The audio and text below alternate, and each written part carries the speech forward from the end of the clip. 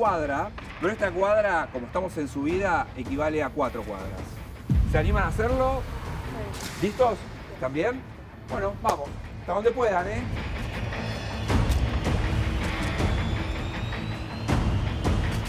Muy bien.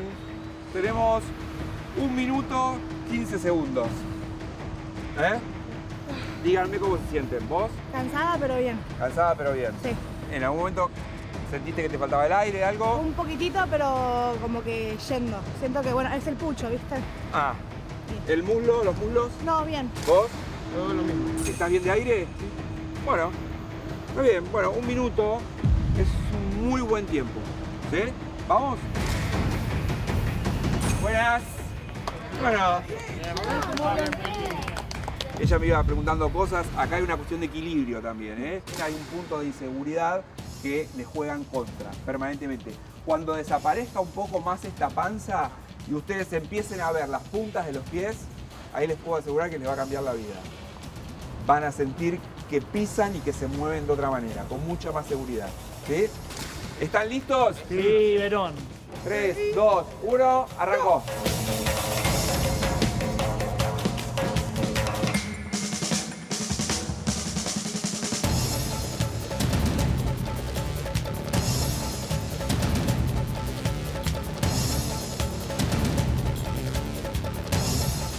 Bien, llegamos. Tome mucho aire. Tome mucho aire. Vamos. Bien. Estábamos, lo- los compañeros habían hecho un minuto 15, tranqui, ustedes hicieron un minuto 25. Bueno.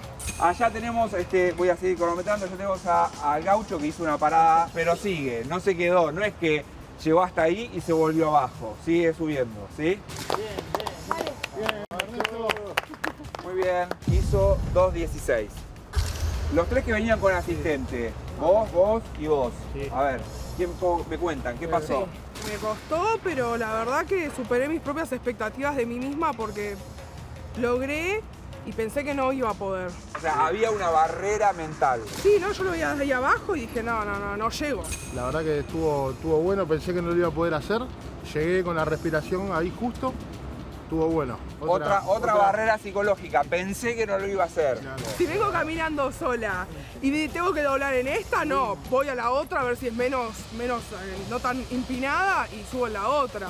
Los gordos tenemos ese pensamiento de que porque somos gordos, nos cansamos, nos falta el aire, el dolor, pensamos que no podemos.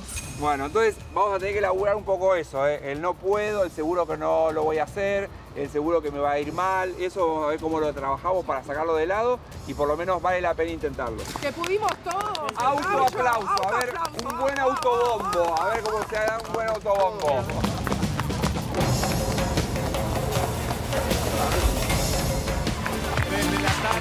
28 minutos, estamos en vivo. Una preguntita tiene que ser rápido. ¿Se pusieron a pensar cuántas cosas tal vez no hacen porque creen que no lo van a poder hacer? Por ejemplo, ¿qué? Andar en bici. Andar en bici. No lo haces porque crees que no vas a poder. ¿Algún Yo otro? no patinaba. No patinabas y volviste a patinar los otros días, pero creías cuando que no lo ibas a poder hacer. Lo del bote. Lo del bote era cuando dijo que eran 8 kilómetros, pensamos que íbamos a quedar a la mitad. Y en el bote, Yo Marce. pensé que- yo pensaba que no íbamos a poder subir el bote el otro día. los otros días, que lo vimos el viernes, ¿no? que Sí, no íbamos viernes a dar vuelta, vimos. pensé. ¿Gaucho? Y yo, por ejemplo, para ir al cine con mi hija, cuando hay escaleras, me da vergüenza quedarme por el camino, entonces prácticamente ni iba, por- porque sinceramente me cansaba. El domingo a la noche fueron al teatro. Pensaban que iban a entrar en la butaca. Yo quiero decirles que llamé por las dudas al teatro. También me hago cargo yo. Llamé y dije, ojo, vienen mis compañeros de cuestión de peso. eh, entran en las butacas y era un signo de pregunta. Había sillas preparadas y todos pudieron estar. Digo, ¿cuántas veces no van a algún lugar pensando que no van a entrar en la butaca, Y lo no? pensamos. Él está en el teatro. Melina, vamos a la balanza.